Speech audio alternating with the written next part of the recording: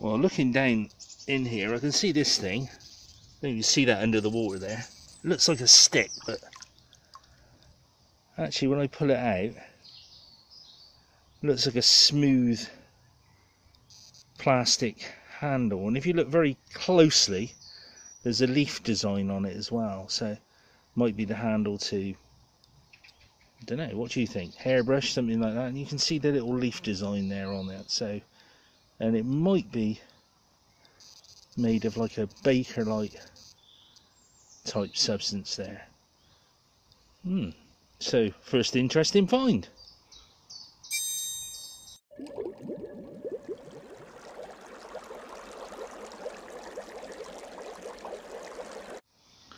And let's have a look down in here. See that little thing there?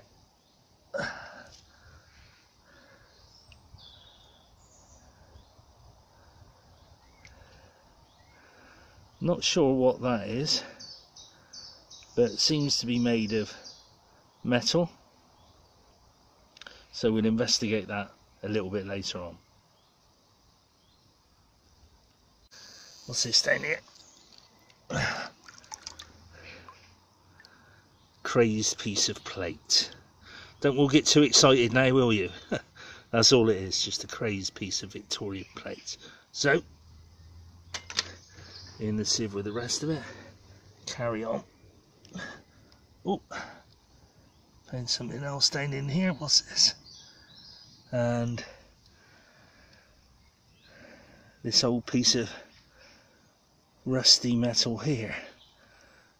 Probably warrants some further investigation in a, a few minutes just to see if it comes up with anything interesting or not. But it looks quite an interesting shape there. Don't know if that was a handle there. Not sure. In the sieve. There we are. See an old bit of shoe there with the metal shoe plate on it. Victorian, looks like a child's shoe. Uh, so quite interesting. Not going to use the F word yet, but Quite unexpected that find, but nothing Roman yet, but still good fun. Look at that. Another weird shaped sandstone bit there. That could very well be Roman again. A Roman kiln plinth, something about nature.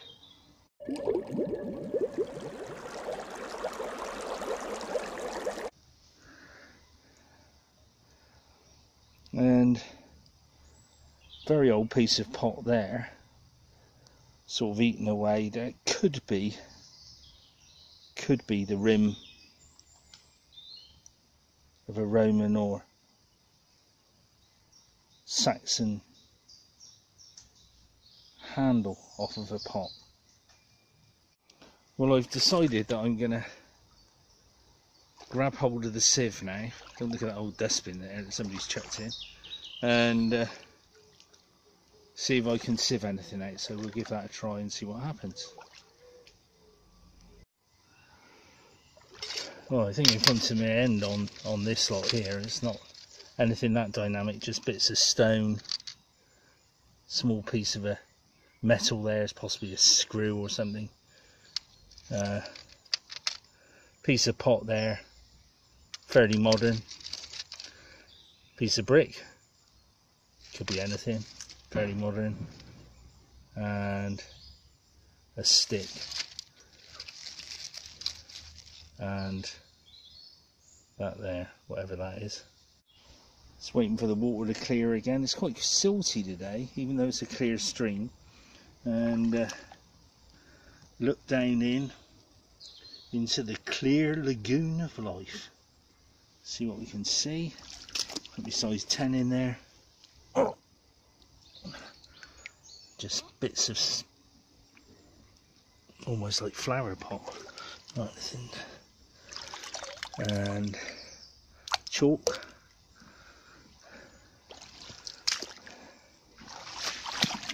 another bit of flower pot you can see that straight away don't need to pull that out just a bit of oh, another bit of Victorian Ridge pottery chuck that by the one side don't even find that interesting anymore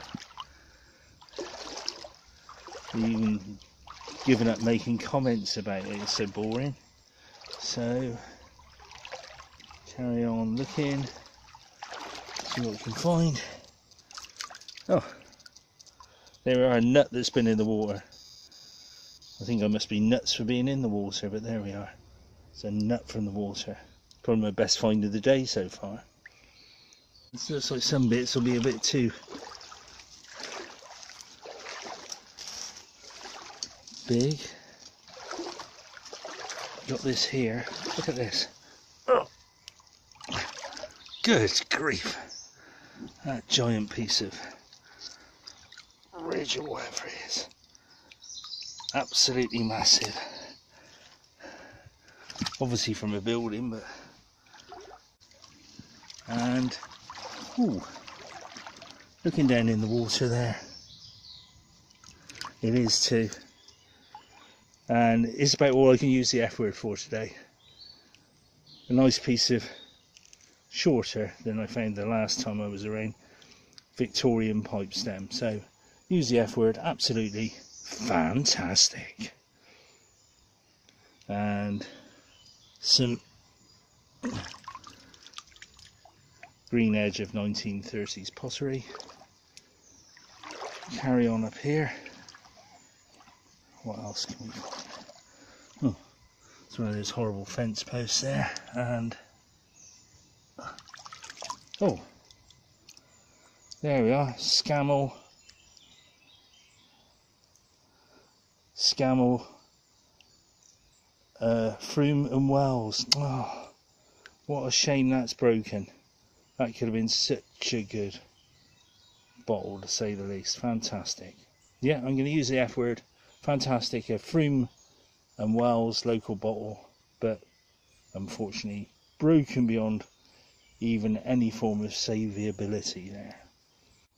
Carrying on, looking down in the water, see if I can find anything remotely. I, I really get a hit off of Roman stuff, it, but doesn't look like I'm going to find any this, this time at all but we'll carry on a bit up here. Oh, got this here, which one some sort of classic design, I've no doubt. And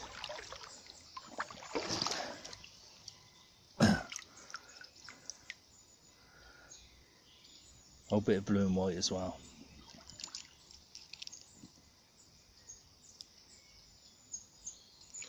carry on looking.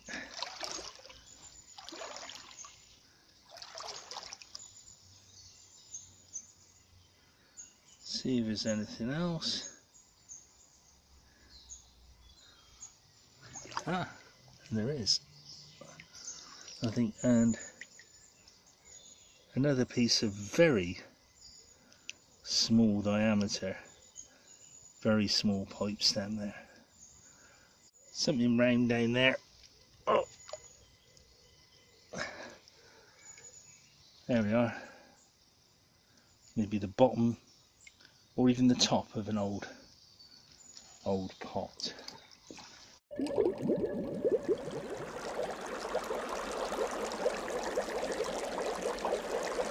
Well, just before I finish totally, I had a last look here. Doesn't seem to be much. I'm going to move this wooden box. and See if there's anything hiding underneath. Oh, look at that. Obviously an old uh, chicken coop there that somebody's kicked into the stream and we'll see if there's anything hiding underneath that. They probably pushed it down that great big bank that you can see there. Look at that. Mudlarked everything and found a chicken hatch. Well, I've just pulled the old chicken hatch up, had a look, and there's absolutely nothing. Yes? No, uh, uh, I won't have drained in this, Rich. Um, I've just uh, found a chicken hutch. Yeah. Yeah, the weirdest thing I've ever found, a chicken hutch. Don't think that can go on my bucket list.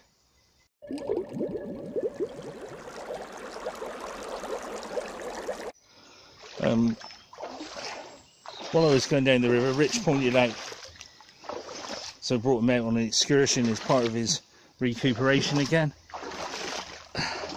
Something on the bank here, and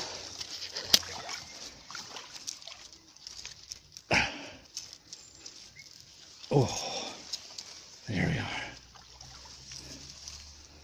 A fantastic strongbow cider glass. Fairly modern, strongbow embossed on the side, but it's a find and may not be Roman, but shape of it, got an archer on there, can't go far wrong with that. Well, here we are, roundup time. I know this is a bit you've been really excited about. You can't control your emotions. Oh, when's he going to round up? Please, please, let's do it. Oh, do I have a cup of tea now? Do I wait till the end of the video? Well, here it is. Here is the bit that you've all been waiting for. And brilliant, you will not be disappointed. So, first thing, we had that little metal thingy that came out that we weren't really sure what it was, but could be anything, part of a tool or whatever. Then had this wonderful big handle here with some embossed stuff on the side of it there. You could just about see it when I pulled it out, leaves and things like that. So uh, I don't know what it is. It's like a Bakelite type thing. It may just be old plastic. I don't know, but Bakelite I like to think it is. The Victorian child stew with the hobnail plate still on the heel there. Still on the heel the hobnail plate. Gosh I bet you're really excited about that one. You can, can't control your emotion. Rest of it all gone of course but hey ho part of the history of the area. Not Roman but Victorian then various random bits of pot bits of glass bits of glass. But then if I don't drop it back into the stream. We have some uh, different embossed pottery there. Very exciting. I, I had a job to contain my emotions on that one. Then the round piece of thingy, whatever it is. So we'll call that a round thingy piece. We have plain white, more plain white, uh, more green and white. And we had a really small pipe stem which I've dropped and lost back in the river again I think unless it's in there. No I think I've dropped and lost that so that's pretty good isn't it? So the small 17th century pipe stem I've lost. Anyway so then we've got the one Scammell Brothers Frome and Wells. Bit of an old bottle there which obviously goes into our area, shows us a bit of local history. Scammell Brothers, quite a common bottle in the area, won't do. My nut, I can hardly contain all of this. So tactile, magic. And Rich is going to take this one back, the Strongbow glass. So there we are. We've only a couple of bits of pipe stem, Strongbow glass. Uh, if I find the pipe stem again. I'm not going to worry too much about it. But the strongbow grass is quite interesting. Embossed on the bottom, embossed on the sides. So Rich is going to take that and bung it in his dishwasher, which he hasn't got yet. Because he doesn't wash uh, other than by hand.